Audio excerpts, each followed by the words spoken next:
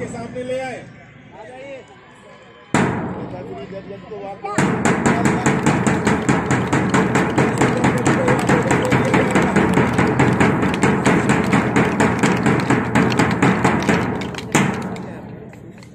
All exercise.